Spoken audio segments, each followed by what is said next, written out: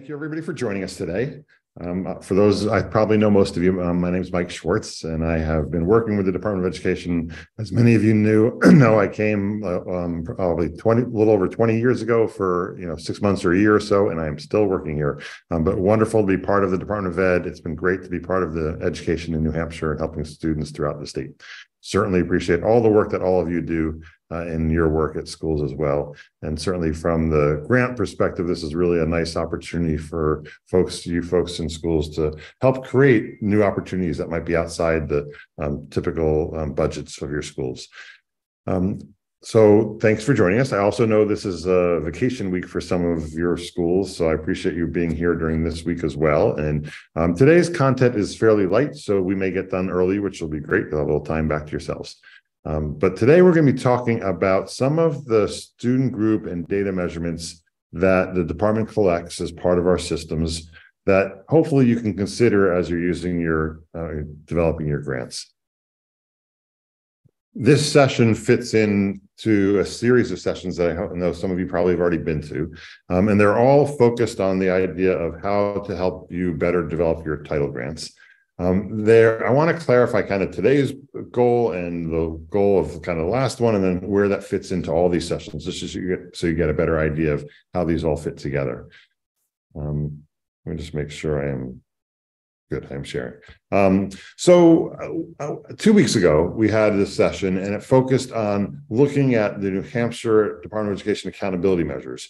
And part of the feeling and the belief is that the more schools can understand how the department's set up in terms of our accountability measures, the more you can you can use that information to, to create and ensure that your grant requests are in sync and kind of aligned with the overall goals of the state. Um, so we focus primarily on some of the metrics that are used from the state assessment test. Um, we talked about some of the other measurements, um, such as graduation rate and um, you know items dealing with both NHSAS, the DLM, um, the SAT, and the access test. Um, so it was a focus on looking at those accountability measures. And the concept again was helping you understand where those measures exist in the department. So as you're building your grant requests, you're making sure that you understand the data and you're able, able to incorporate that into your requests the session last week focused more on okay now that we've got all this data how do you actually think about creating smart goals? And how do you think about you know approaching um, your grant in general? Karen led that effort and i'm going to talk briefly about that in a minute. Um, today's session focuses again back on the data once again helping you understand what data is collected at the department of education how might you consider that data as you're planning your requests the session I did two weeks ago, this one is not oriented so much on developing smart goals or figuring out exactly what your measurements might be. Those will come, that will come through the rest of the trainings. We're going to dive into this, this data into a little bit more detail at a, deeper level. Um, but hopefully that these together, these will collectively, you know, help you as you're thinking about your grants. Logistics, um, we're happy you're here today, again, especially on this uh, vacation week for many of you. Um, we will be sending out a follow-up email. You'll have a link to this presentation. There'll also be a survey. We ask you to please respond to that survey. Um, we definitely look for your feedback and your participation during the session as well. So feel free to send a, you know, put a question in on the chat and we will uh, certainly um, try to address that during this session as well. Of course, we are always here to help. So even after the session, or if any of you are watching this as a recorded session, uh, please make sure that you uh, reach out to us. And our emails will be on the final slides if you don't already have them. Um, and then, as I mentioned again, please uh, make sure you complete the survey. We definitely take the surveys, uh, you know, as important information. I re certainly read through the ones from two weeks ago. I talked to Karen about last week's as well. Um, so we certainly appreciate and, and value that part of me having kind of put this into perspective was based on that.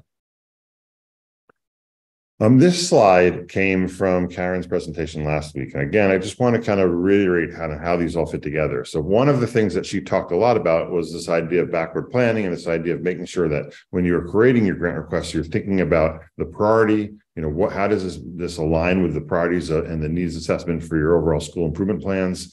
Um, talked about looking at outcomes that could be measurable, talked about the performance measures that you might create through SMART goals, um, talked about um, activities that you might create as part of achieving those goals, um, you know, through your grant requests. So again, today's session, we'll be talking about some indicators that the department collects that hopefully let you think about some of these things. So as you're building your needs assessment, you're looking at that data and making sure that, yes, that truly is a need for my district. And I can demonstrate it through the department's data um, that it's using as some of the key indicators for how schools are performing throughout the state. Um, and you know, making sure that those indicators are some that, um, and this will kind of get into the large, the, the broader set of all these trainings. Um, but those indicators are things that you can use within your grant request to look over time. Um, but that in addition to that, you'll have some interim goals that might be um, specifically surveys that you develop for your as part of your grant, uh, perception surveys. Um, it could be other local assessment assessment data that you collect, and that again will be coming in some of the future trainings over the next couple of weeks.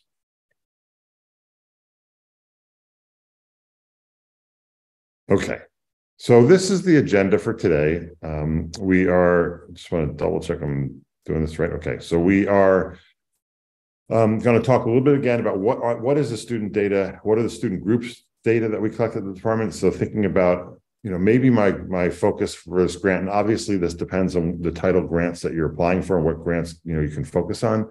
But where applicable, how can I focus my grant on a certain subgroup within um, my population within my school district? So, are there certain grants that need to focus on limiting English proficient students or you know students with special needs or whatever the case may be? Um, but helping you understand those student groups that are collected at the department and how they how you can get to that data. Um, we'll talk about some additional outcomes. So again, last time we talked about a lot of the outcomes around assessment and accountability. We'll be talking about some other outcome data that the department collects as well. Things like suspension information or attendance information. Um, we'll talk a little bit about how that data is collected and how you can access it. And then I'm going to hopefully go through some examples of, you know, here's what I would be thinking of as a, you know, title grant grant writer and how I might go about going and getting the data and making sure that I'm, that I'm using it to, um, you know, show, demonstrate the need for the grant. Um, and then again, questions and answers throughout this session, but by all means, we'll leave you a little time at the end as well if you have any additional questions.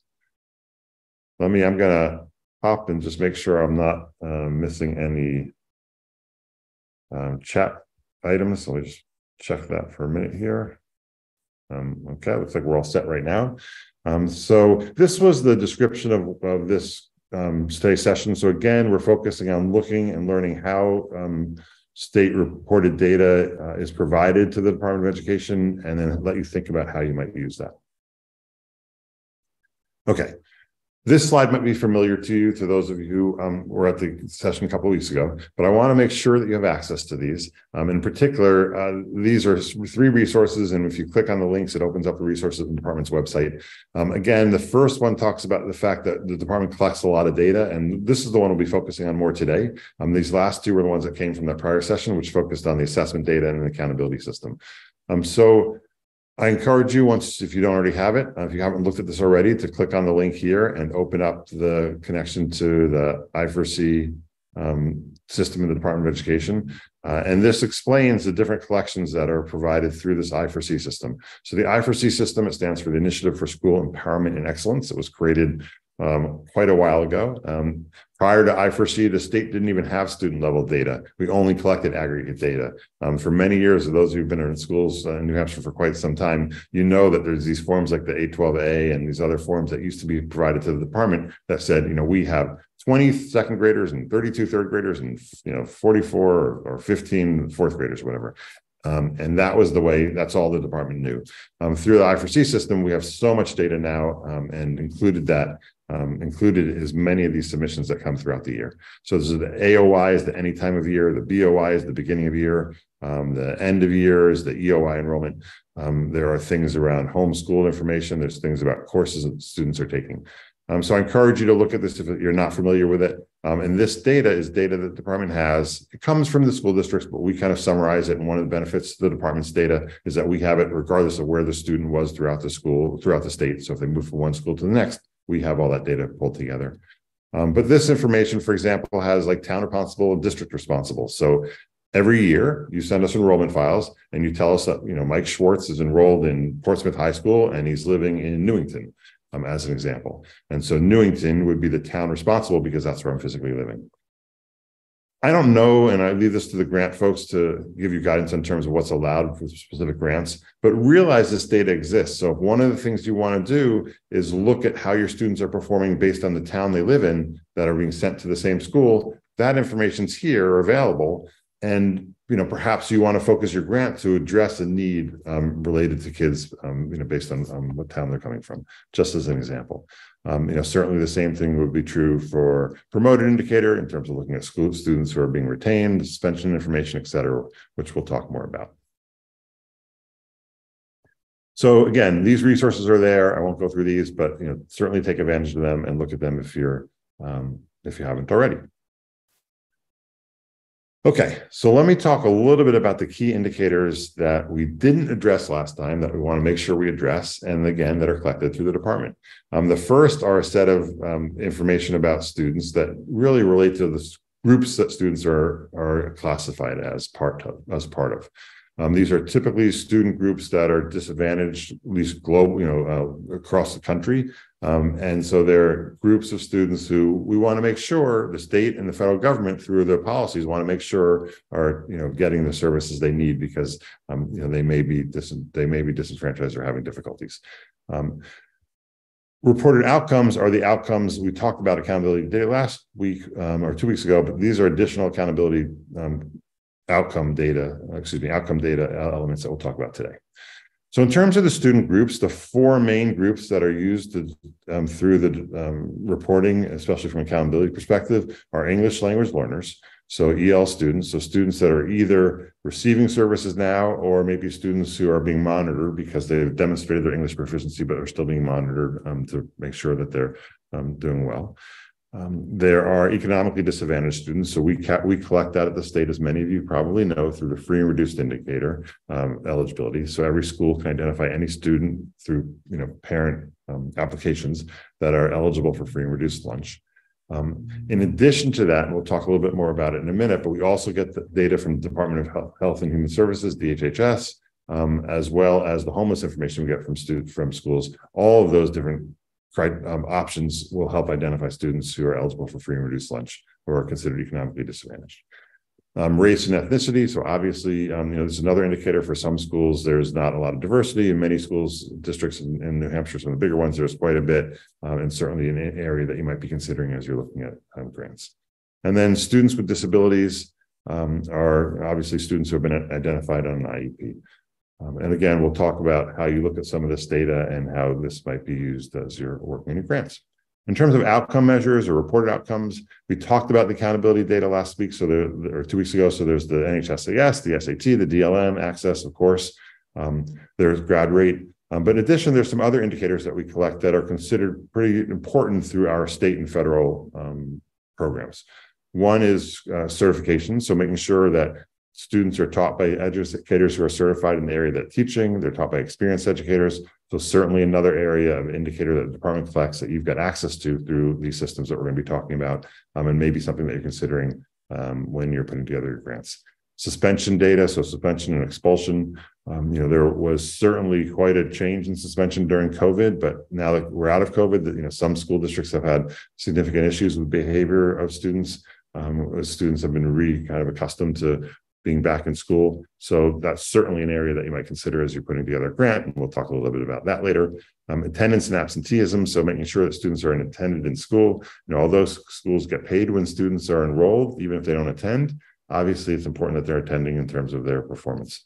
Um, so we'll look a little bit at that. We'll look at how you might look at your attendance across the state to see how it compares to other schools as well. And then dropout information. You know, dropout the desire to make sure every student stayed in through school through graduation was certainly an issue that started probably about 12 years ago in New Hampshire um, under a prior governor, and it's something that had been looked at for quite some time. New Hampshire in general has very high graduation rates, but certainly there might be a problem or areas where your your district has a higher dropout rate. It might be something you want to focus on, you know, again, potentially through a grant. Okay. Um, So let me, t- I want to talk a little bit before we jump into those um, specific elements um, in terms of um, the um, ways the Department of Ed uses some of this data as well. Um, so certainly the, you know, one of the most important ones is just the commitment to education, just helping the Department of Ed is, you know, focused. The commissioner is very focused on helping share data um, with all users throughout the state all stakeholders to help improve education for students. So that's got to be you know the number one. It seems to me need for the data both from us and from you know all of your roles as title grant uh, writers and um, DOE folks as well. Dropout prevention, as I mentioned earlier, that was really um, big many years ago. Certainly something still is a commitment in terms of making sure that we're, we're tracking every student, making sure that we've got high graduation rates. Um, graduation rate is one of the key indicators for the accountability system. So certainly that's part of the use of the data. Um, and then with withdrawal verification, we make sure through the data that comes in from you that every student is accounted, accounted for. So if you were here last year, where are you this year if you're not showing up in a school? Um, school accountability. So we know the data is used for accountability. We talked about again a couple weeks ago. Differentiated funding. So most of you are probably aware that um, in addition to any grants that you might get through the title funds, um, you know, you're getting adequacy aid that is dependent on or that is increased um, for students who are in these different uh, differentiated aid groups.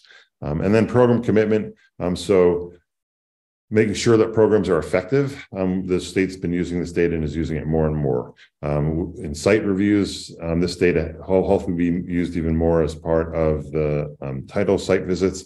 21st um, century after school, for those of you who are involved with, with those grants, you know that this data has been um, leveraged significantly over the past year and will be in the next several next the years going forward in terms of making sure that the programs are effective. So looking at how students in the 21st century program are doing through these measures of growth of students, of students uh, being able to move, improve their achievement on the state assessment test, um, from students' attendance rate and suspension rate. So all that information is used now as part of the 21st century uh, measurements. So, you know, the kind of this this whole concept of all this data and thinking about how you can make sure you're using it within your all your title grants is um, you know an example of that is how it's being used now in 21st century.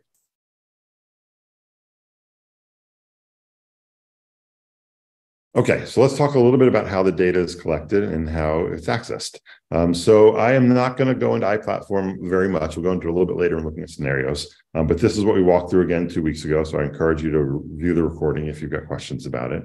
Um, there's several recordings out there around iPlatform, um, but iPlatform is one of the main places you can go and look at you know most of this data that we're going to be talking about. Not all of it, most of it. Um, the sources of the data. So I talked a little bit about this before, but I want to just a little bit more descriptive now. Um, English language learner data, EL data, that comes through the i4see system through an ESOL roster. Um, the department um, uses uh, this system, all of your schools use this system um, to track the students who are in ESOL. Um, it's important that you're tracking them and they're keeping them up to date so that we are able to make sure the right kids get assessed and that, to, that we know where the ESOL students are. Um, economically disadvantaged, this information comes, as I mentioned a little bit earlier, three different ways. It comes through i4see. There's a free and reduced submission that comes in periodically throughout the year. Um, there's the food stamps that comes in at the end of the year. We get that from DHHS. Um, and then the EOI and BOI, um, we also get things like the homeless indicator. Um, anyone who's identified as homeless is also identified automatically eligible for free and reduced lunches. So, so those different ways all allow us to develop kind of one full, as broad as we can, roster of students who are eligible for free and reduced lunch, who are considered economically disadvantaged um, race and ethnicity. When any, whenever you first request a student ID for a student, you identify the race and ethnicity. Um, students, you know, this quite frequently they may identify, change their own identification, the way they view themselves um, through their life cycle in education. And so we do, schools do, uh, are able to update the race and ethnicity of students through their EOI, BOI, and AOI through this enrollment submission that you give throughout the year. Um, and then students with disabilities um, comes from the NESSA systems, the special education system, and that's fed into the, the, database that feeds these reports that we'll look at a little bit in a minute as well. In terms of some of the outcomes, the accountability data, we know we talked, I'm not going to talk more about that. Um, we talked plenty about it last time. Educator experience and certification data, that all comes from the teacher certification system. Although I should also mention the educator information system. Um, I should also mention that um, as part of i4see, you submit courses, we'll submit courses and classes that tells us what teachers are teaching what courses and what students are in those courses. As part of that course submission, we know what subject is being taught. So we can then map that to the educator information system to know whether teachers are certified in the areas that they're teaching. Um, so that comes not just from EIS, I should update it, but also, also from i4see through that course and class submission. Suspension and expulsion come from i4see at their end of the year. So the end of the year submission for every student, you tell us how many days the student or half days, no, how many days the students were suspended both in school and out of school. Um, attendance and absentee information, um, that also um, comes through i4see at the end of the year. Um, and then drop-in information comes from the end of the year and the, the beginning of the year as well to know who dropped out. Um,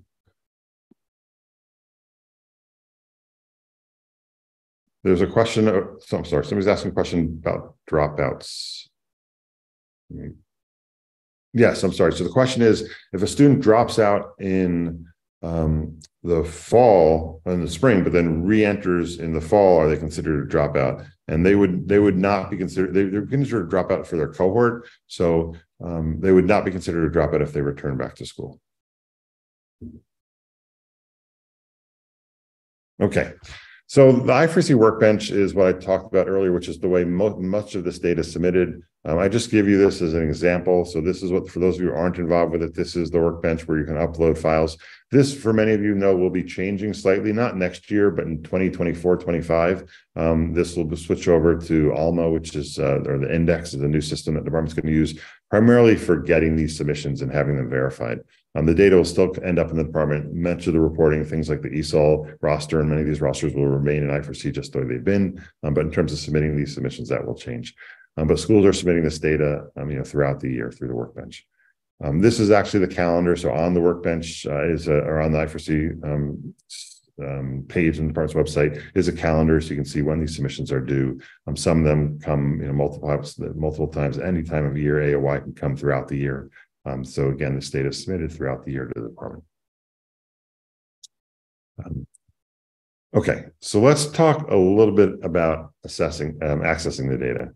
Um, so the data, as we mentioned before, is available through all the things we talked about a couple weeks ago in iPlatform. But one of the things that we really didn't go into was this data and report section. So I'm going to switch over right now just for a second here. Let me escape out of the presentation and I'm going to open up a new browser.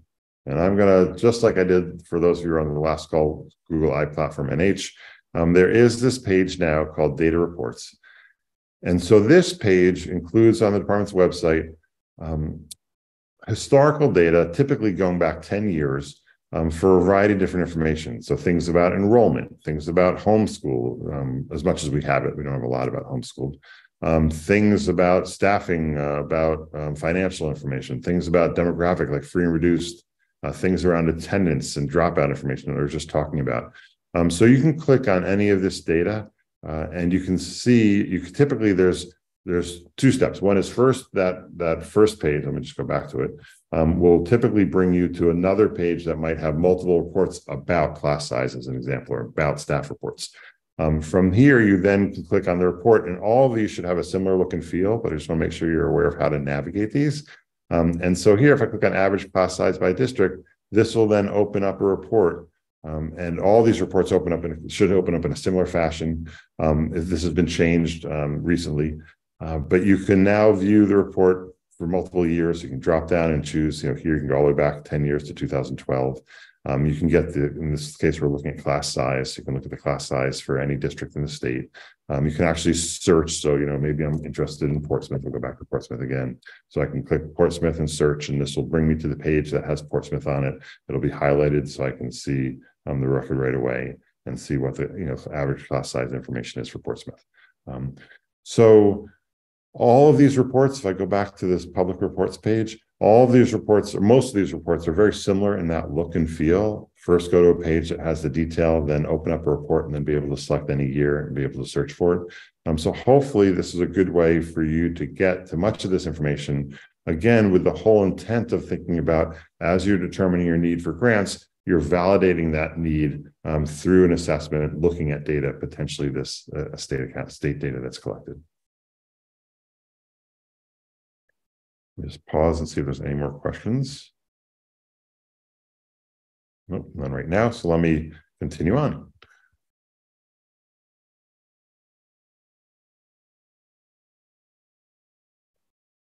Um, so again, you'll see free and reduced rates, information, attendance information, dropout information in a variety of different cases.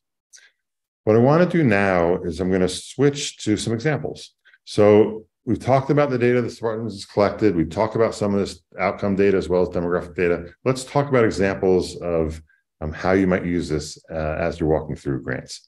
I want to remind us of the discussion that Karen had last time, this kind of backward planning effort. I'm focusing on the, the steps that she talked about, building it, making sure you've got a priority, making sure that your grant is based on the, a need assessment or looking at data.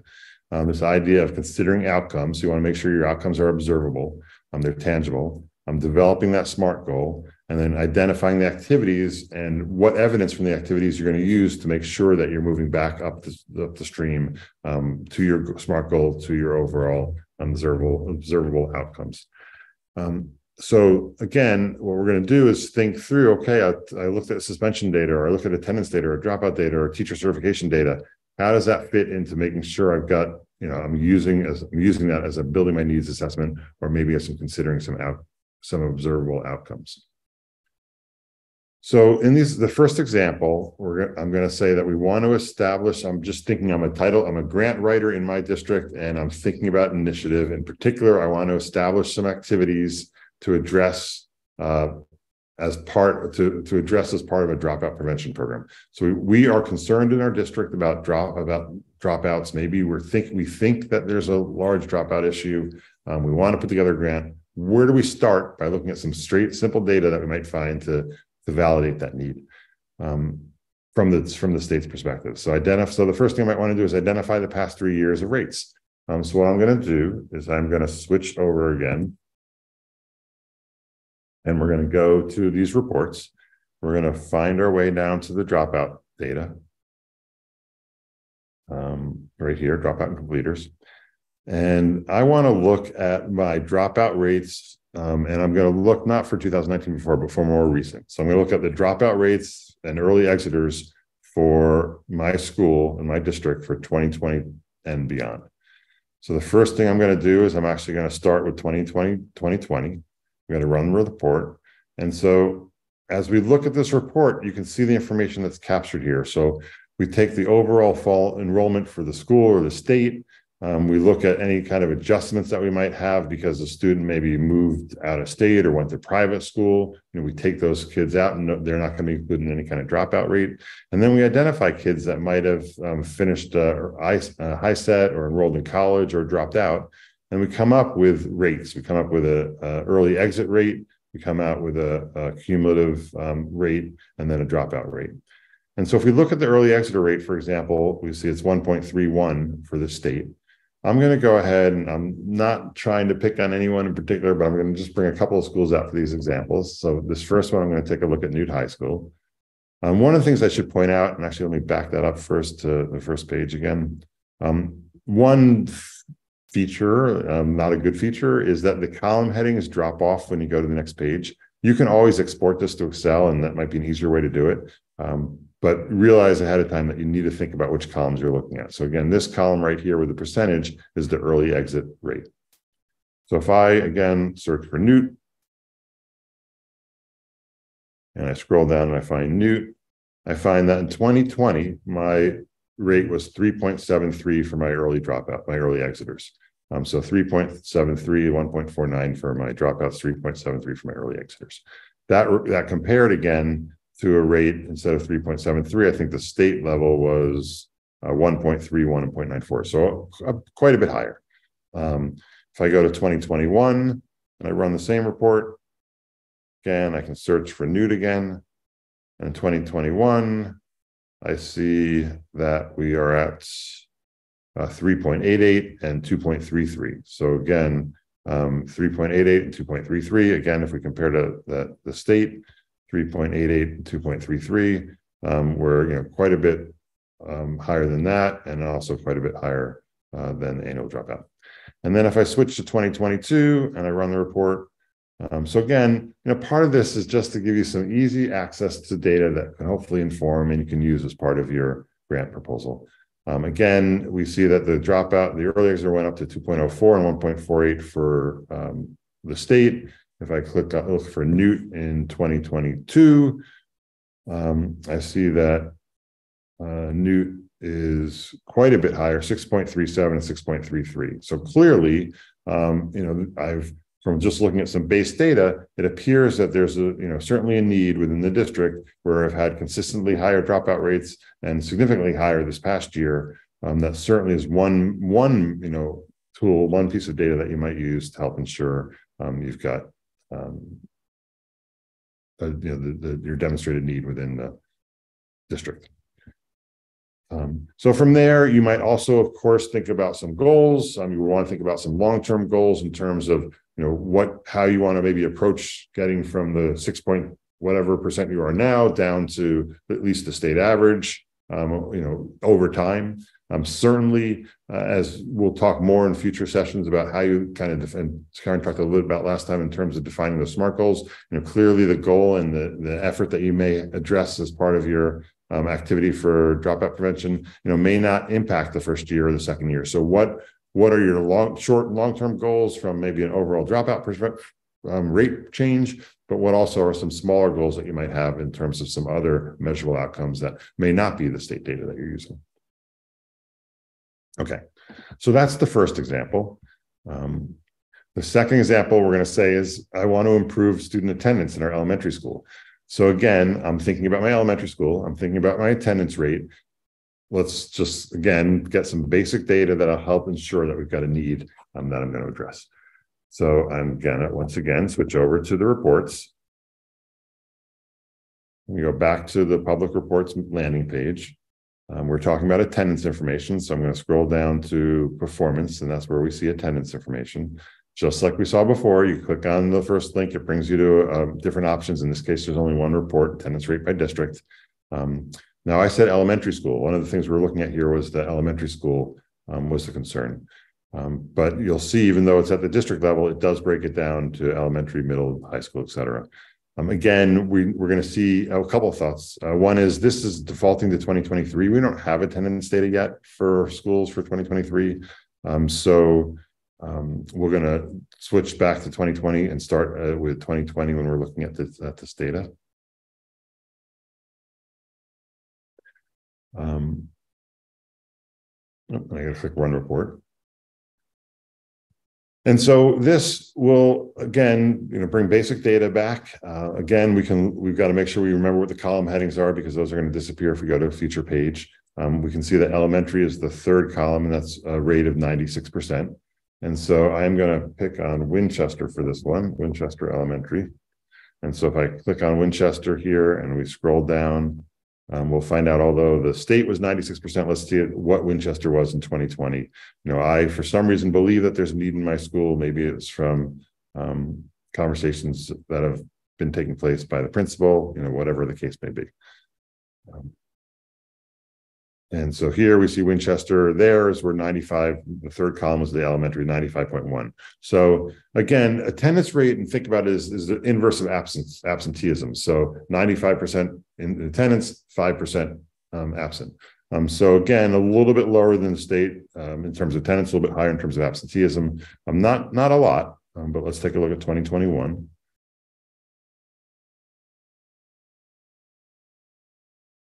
And again, we'll find Winchester. And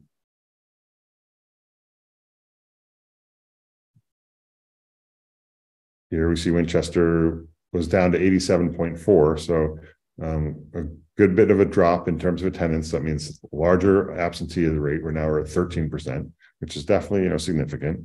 And then if we go to 2022 and we run the report, um, we'll see if Again, the state here, the average is 92% for attendance. So um, 8% absence. And here we see Winchester's at 84. Um, so you know, 16% absenteeism. So clearly, again, um, you know, the need is certainly demonstrated through this data. Um, and again, don't mean to pick on any school districts. And if you think there's a problem with the data, let the department know. But uh, you know that is the data that's here, and so that data again is one way to help define your need uh, for your grant and be able to tie your grant to specific data metrics that the department has. Okay, next, um, two more, and then I'm gonna We'll be wrapping up fairly shortly, so hopefully I'll give you a few minutes back of your day. We are concerned about rising suspension rates in our middle school and want to implement a research-based program. Um, so thought is that suspension might be an issue. Um, we're going to look at some of the current rates. Maybe we'll consider some subgroups here too.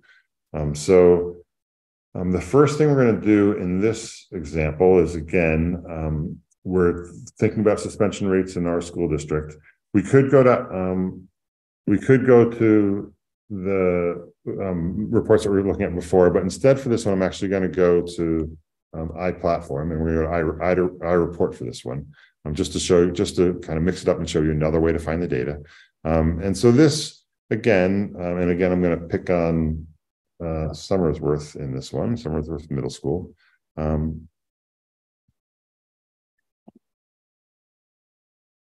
And um, this time, part of the reason I wanted to come here is because in the data that we're just looking at around attendance and suspension, we were just looking at overall school. But here we're going to think about some of that subgroup information as well. Um, so if I go to environment, because suspension information is kept as part of the environment indicator, um, we can see, in fact, that for Winchester or for Somersworth, excuse me, um, although the um, the in-school suspend out-of-school suspension rate is 14 and 20 percent excuse me for the in-school suspension. We know and if we look here you can see what the, the state is. The state's only at 3% and the district's at 5% so clearly for some reason or other there's a significant amount of suspension going on within the middle school. Um, again we could um, go back and look at other years um, I suspect if we look at COVID years, um, that rate will be almost at zero. Um, at least that was the case for most schools. But the other thing we wanted to, I wanted to point out here is the ability to start thinking about subgroups too. So again, if you click on the link here, and I'm going to, you know, if I'm implementing a suspension a program to help with uh, reduce suspensions within the school, I might want to consider my subgroup population. And so here, although the average overall is 20% uh, for suspensions, we can see that among multiracial groups, it's 47%. Um, we can see among economically disadvantaged students, it's 28%. Uh, military connected, 27%. Um, so certainly an area that we might want to focus some programs that address, you know, specific needs um, that are that are meeting the needs of folks in the school who seem to have a higher percentage of students who are being suspended um, than other groups. Um, so one one other way to help kind of define not just you know identify the evidence but help zero in on what a program might want to address based on some of the data that you can find. Okay. Um, so the final one we want i want to do here is again as you're thinking about your priorities what are your needs you're thinking about your outcomes is this concept that we are considering enhancements for our ela program um, our english language arts program and we want to see I'm sorry about that mistake, but how our students are growing compared to schools with similar demographics, similar demographics. So how is the growth of my ELA achievement uh, students compared to school students in schools with similar um, poverty demographics? So I did some of this last week, but this is, I really feel this is very important. So I wanted to follow that with, another focus on demographics. Um, so what we're going to do here is I'm going to start by going to um, iExplore because um, the first thing we want to do is see how do we compare to others. So we are going to go back to iPlatform. Um, this time we're going to jump into iExplore. And we're looking at ELA growth. So what I'm going to do here is I'm going to select um, proficiency or growth in um, ELA. So if I go down to, I can find it here, student growth in ELA.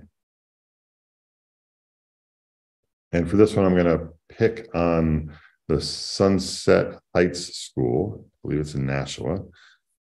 Um, so I'm going to go ahead and sort here. And I'm going to highlight, I think I can highlight Sunset. Let's see if this works. Sunset Heights School. Um, oh, uh, that's highlighting on, on the right side, actually, I think, when I did that.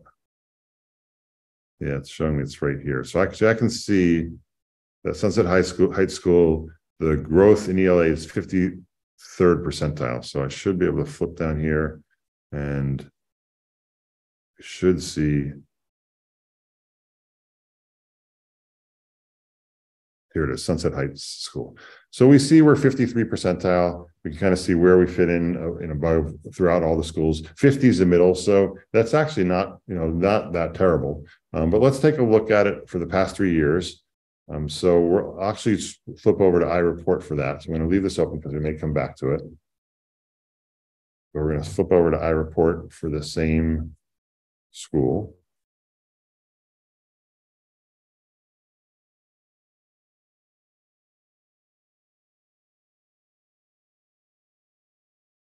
And oops, I'm actually going to start with 2022.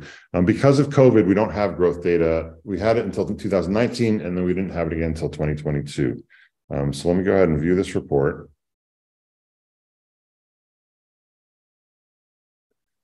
And we'll go to growth. And so again, here we see that Sunset Heights was 53%. So not terrible. Um, let's go and take a look at the data that we have, which is back in 2019.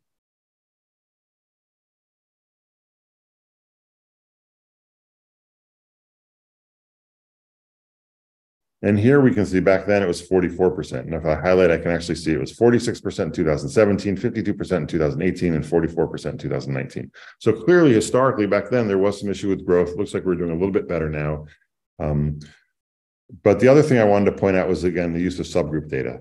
Um, so here we can see um, certainly from some subgroups. So uh, economically disadvantaged is 41%, even though the overall school is 44. English language learners is 38%. Um, so you know, again, uh, grade four seems to be doing having a little bit harder time than grade five. So again, you know, I encourage you to use this type of information to say, well, maybe the focus should be on fourth grade. Maybe it's not on um, fifth grade. And, you know, we might want to look at the achievement in, in third grade as well and see how that's doing. Um, but again, one way to look at that subgroup data.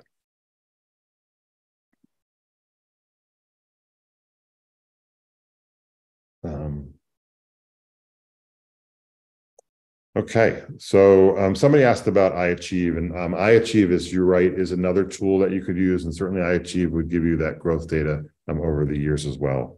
Um, so that might be another place you might want to look. Thank you for asking. Um, you might have been somebody who attended the iAchieve training. Um, okay, so I think that's primarily what we wanted to focus on today. Hopefully, that gave you kind of some insights and information into again this idea of uh, these different student groups and the use of those as you're thinking about your grants, as well as some of these outcome measures like absenteeism, suspension, dropout information. You know, we didn't go through teacher certification, but certainly that data is there as well. So with that, I just wanted to make sure you're aware about some of the future trainings. Where we'll certainly be getting into more deep thoughts about or deep deeper into thoughts about developing smart goals around assessment data, um, thinking about other ways, both whether it's a state assessment, looking at specific things like um, you know uh, understanding mixed fractions or things that are detailed level in terms of curricular items that are provided through the state assessment, looking at other national assessment data and how you might use that for um, determining SMART goals. I'm thinking about perception data. So one of the things that I know is we believe is really important, and hopefully you'll be able to get out of one of the future trainings on the 23rd is this concept of developing surveys or other tools to help not only determine whether you're actually improving um, on your goals, um, but coming out with some outcome measures as well. Um, and then looking at some other rubric uh, tools that we can use around um, calibrate calibration and level setting, making sure that you're you're effectively measuring. Um, so I hope you'll come to those. Um, I'm leaving you some contact information as I promised. Uh, you probably have our information already, uh, but please feel free to reach out anytime, uh, email or phone, and um, certainly want to help make sure you can make the best use of this data.